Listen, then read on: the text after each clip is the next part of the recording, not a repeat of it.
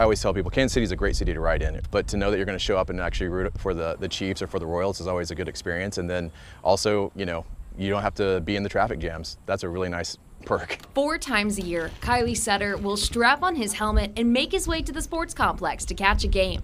Now, Bike Walk KC wants to make it easier for those like him to ride to the stadiums on a consistent basis, launching an online survey earlier this fall.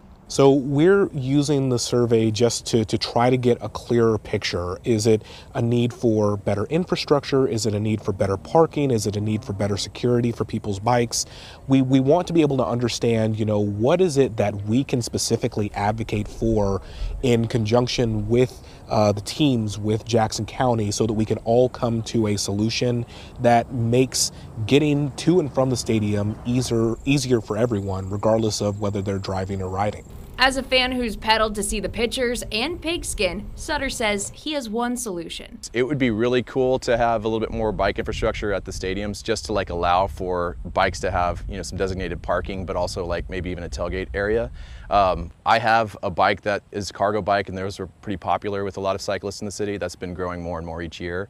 And those are ways that you can actually put stuff that you would take for a tailgate on a bicycle without having to uh, necessarily have a car to do it, and you can still have a good time. In Kansas City, Jamie Weiss, KMBC 9 News.